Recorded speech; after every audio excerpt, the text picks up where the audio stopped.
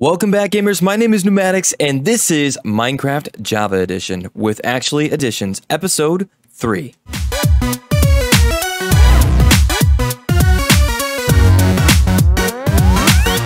Welcome, welcome, welcome, everyone. So today I figured we were going to go ahead and expand upon this little farm I have going on right here. I want to go ahead and utilize some of the items in Actually Additions to make this a bit more automated. So what we're going to do is we're going to go ahead and make something called the farmer. So with the farmer, it is actually not too bad to make if you have a lot of iron. You could go ahead and turn your iron into Ennorite crystals and make some blocks of it. And then one iron casing, we could make one of these guys. So one of these guys allows you you to pretty much have it automate a 9x9 area of whatever crop you put inside of it. Now, I use the word automate lightly because you still have to go ahead and go inside the farmer in order to take the excess out unless you attach it to a hopper system and you also have to supply it with energy just like any other system you're going to be making in actually additions it's all going to require some crystal flux so i'm going to go ahead and extend with all the dirt i have i'm going to extend out a good amount of land and i'm going to go ahead and make that farmer after i am done with this. All right so i went ahead and got my plot all set up. This can go ahead and fit four farmers all together. I counted out nine by nine spaces. So i think this is going to look really nice and work out really nice for us. So i'm going to go ahead and go in here and gather up the materials to make that farmer real quick which i think is just going to be involving a lot of iron. As I showed before, I'm going to have to go ahead and change them into Ennorite crystals, and then I'll grab some seeds as well so that we can go ahead and get this underway. Actually, you know, it'd be easier instead of throwing a bunch of iron down. I saw it needed blocks of Ennorite crystals, and I think we needed three, if I'm not mistaken. So let's go and grab three out. Let's double check that recipe. And I actually need four, four altogether. So let's go and do this. I'm just doing this basically to show you guys that you can actually do it with just blocks of iron as well. So I'm going to do this, drop all those in front of that, and it should turn all those into Ennorite crystals. There we go.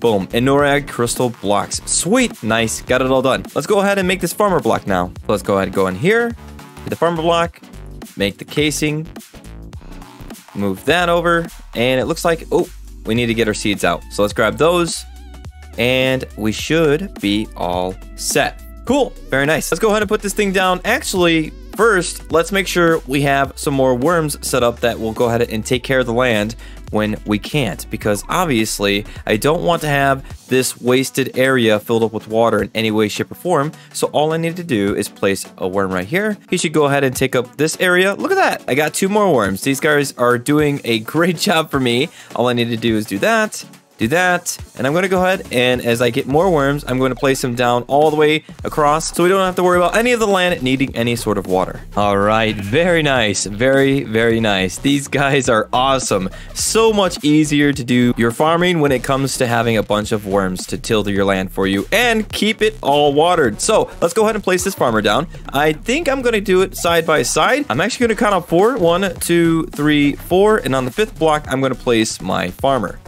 All right, cool. So now we got the farmer in. It actually needs fuel, like I said before. So let's go and grab one of these coal generators or make a new one because I kind of need those over there. So I'm going to go and make a new coal generator, set it on top of it or right next to it. And then we need to supply this thing with some seeds in order to actually function. So I'm going to throw the seeds in there right away so we don't even have to worry about it. And let's go ahead and make the coal generator so we can see this thing working. All right, so I went ahead and got my coal generator made. So all I need to do is plop this right next to this farmer like that. Let's go ahead and put some fuel in it and it should start powering Look at that. It's already starting to work. So what it's going to do first, it's going to go and take up all of the wheat that needs to be harvested. And then it's going to go ahead and plant any of the seeds it gets over the plotted area of 9 by 9 All right, very cool. Look at this. We almost got a whole 9 by 9 area already planted out for us. This thing is still going to fill up with plenty of power. It has run out of seeds, so it just needs to wait for some more wheat to grow up to in order to get harvested. And it will get those seeds, and it will take those seeds and plant them across the area. So it looks like I didn't do my math correctly. I thought for certain that I was going to need four, but then I just realized I did two 9x9 plots. So I just need to go ahead and make one more farmer, and this whole area will be farming up wheat in no time. All right, so I went ahead and made my other farmer. I'm going to go and throw it over here, and we're going to put some more wheat seeds in it as soon as that one goes and gets an abundance of wheat seeds so we can use over here. I was going to actually go ahead and make some pumpkin seeds so that we could throw the pumpkin seeds in here, and see how that works. But I think we are going to need a lot more wheat in the beginning of our playthrough instead of any other crop. So I'm going to wait off on that. And I was also thinking about doing some sugarcane, which sugarcane does involve having to use sand instead of dirt, but that would negate the effect of the worms. So we wouldn't have the worms to go and use all of this cool little feature we have going on right now. So instead, I'm just going to keep up what we got going on here. And also, if I go to do some sugarcane, I'm going to need to have water. So every center plot and the plot of three by three in the center one, we'd need water along with the sugarcane going all around, which I would have to change up what, what is going on underneath here, and I don't really feel like doing that. So, like I said, wheat it is. So since we have this lovely farm going on outside now, I think it would be a good time to show off the composter and the biomash because these two things put together will allow you to create something called fertilizer. Now, fertilizer acts very similar to bone meal. All you need to do is make some, put it over your plants, and it will make it grow faster. So exactly like bone meal, actually. But the only difference is you can't just take fertilizer and throw it on the grass, as far as I know. So we're actually going to try that out as soon as I make some. I just want to see if that actually works or not, if it has any sort of way of making grass grow like bone meal does. So the compost thing thing is actually pretty easy to make. It doesn't take much. It just takes some wood and a wood casing. So let's go ahead and make one of those guys. I'm going to go over here, go here, make that wood casing as soon as we get some wood and some sticks. All right, here we go. Let's go to make that. And then let's grab this. Boom, got the compost. So the compost will go ahead and make items over time. So we don't have anything in it right now. We need to go ahead and make some biomass. So let's go to make that. It requires us making a knife and we need to go ahead and use that knife with some other materials that are plant-like. Okay, so first things first, let's go ahead and make the knife. So the knife, we need a knife handle and the knife blade. In order to make the knife handle, we need a stick and some leather, but unfortunately, I don't have any leather on me, but that's okay because we have some rotten flesh. Why is having some rotten flesh a good thing? Well, I'll go ahead and show you why. You can go ahead and take the rotten flesh and put it in front of the atomic reconstructor in order to make some leather. So let's go and do that real quick and turn this off. Look at that. We got six pieces of leather. If anything, I'm sure that makes the cows happy. Anyways, let's go ahead and throw this in here. And then, wait a second. What did we need with that? We needed a stick. So let's go and make the knife blade. And then we can go, actually, the knife handle, I should say. And let's grab some iron, which I think we needed two. And then let's grab a thing of flint, which we need one in order to make that. Let's go and do here, here, boom, boom. Let's go and throw these guys in here. And now we have the knife. Cool. Okay, so I went ahead and got some apples for us to go ahead and make that biomash because for some reason, when I click on biomash, it doesn't show me a recipe for it, but it does say that you can take any sort of food with the knife in this formation in order to make some biomash. So let's put the knife right here, and there you go. We got some biomash, very nice. And it used a little bit of durability on the knife, which is okay, but if you didn't know, the knife is actually used for a lot more than just making biomash. We could go and put it with a quick pork chop in order to make some bacon, which then the bacon... Oh, wait. No, never mind. I thought the bacon actually did something else too.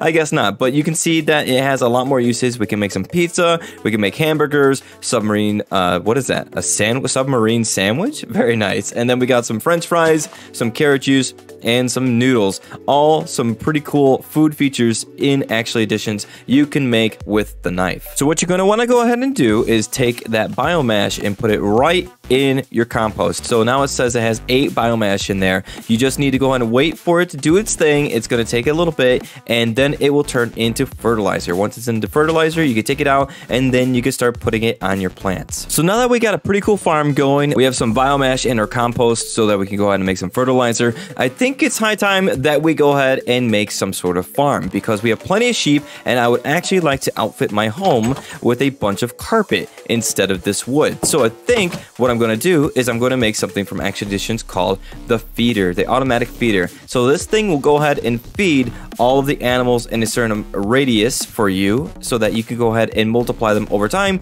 which then in turn you could go ahead and automate some other things that you usually do with the animals, such as get some leather from the cows, get some pork chops from the pigs, or as I'm going to do, get some wool from the sheep. Problem is, this recipe requires golden carrots. I have gold, but I don't have carrots, so it looks like I'm going to be on an adventure to go, oh, look at that, and we got some 8 fertilizer as soon as I was coming around the corner there. Here we go. So I'm going to show you guys how to use this real quick before I go on my adventure to find a village of some sort so that we get some carrots. And maybe if I find the village, I can show you guys what sort of new village buildings that are going to be there if there are any from Actually Additions, which I know there are. It's just a matter of finding a village that has a few. So let's go ahead and throw this on here. And as you can see, look at that. Mature. Already done. But I want to go and see, like I said, to see if this works on the ground. Let's go and throw it in the ground.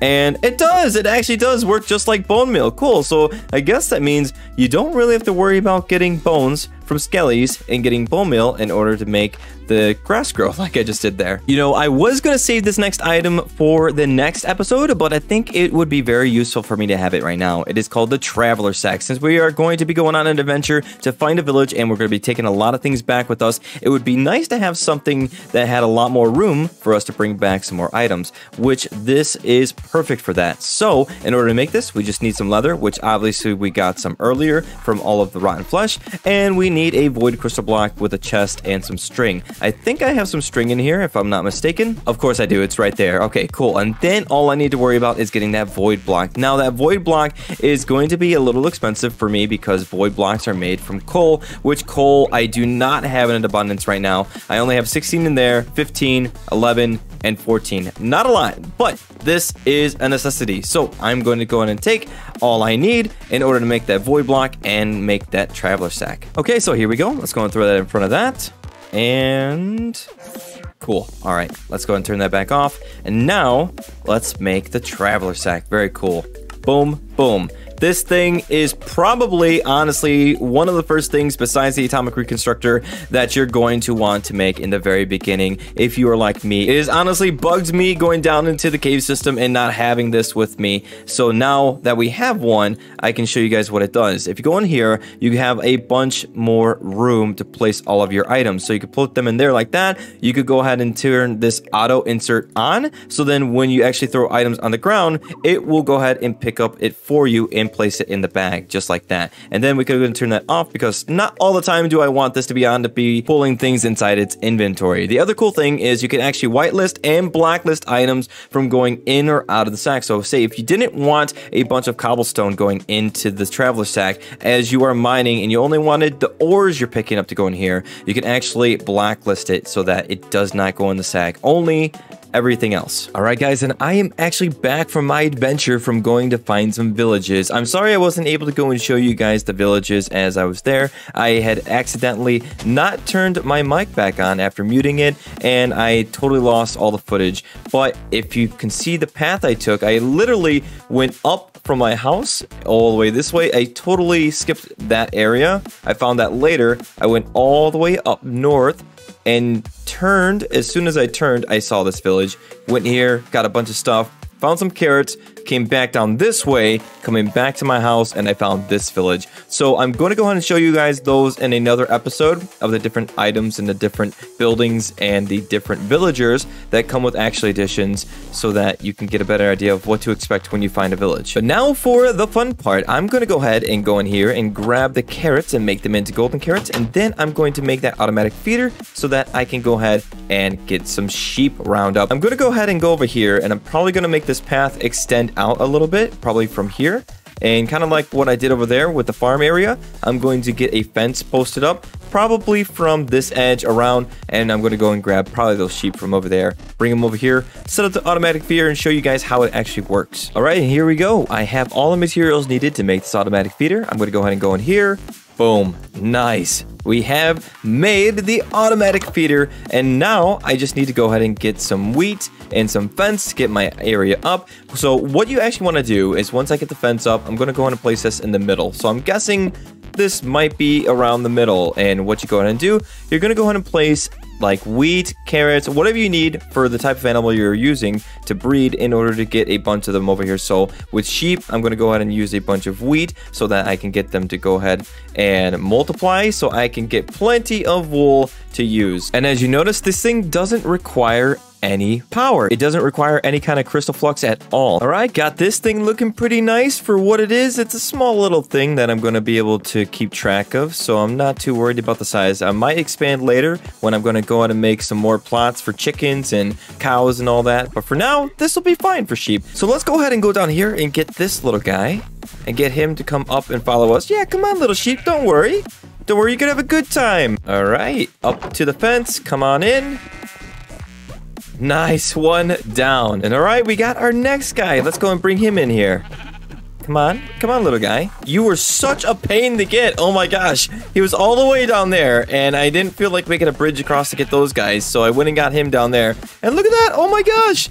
See, it already worked with my back turned and everything. Now we have a little gray sheep from the white sheep and the black sheep. So cool. Awesome. So now all I need to do is get a bunch more sheep in here and I can go ahead and just let this thing run. The cool thing about this is if it was on a server or whatnot, or if you have a lot of people playing with you, you don't have to worry about this lagging out because it will stop at a certain point when it feels that there's too many animals around it. So if you want to go ahead and stop that from happening, you'll have to have some kind of system which we'll probably implement later on in another episode to stop that from happening so we could just keep on getting more and more sheep out as we wish. But alright guys, that's pretty much it for me. I hope you did enjoy this episode, episode number three of Actually Additions, and I do hope you come back for episode 4, where we're going to be going over the drill, its augments, and the Energizer, and probably some more things just, I just wanted to go ahead and get those at least taken care of, so we could finally use the drill. That thing is amazing, and if you guys didn't notice, I have this little hat on my head because I'm actually filming this the day after Christmas, so if you do celebrate Christmas,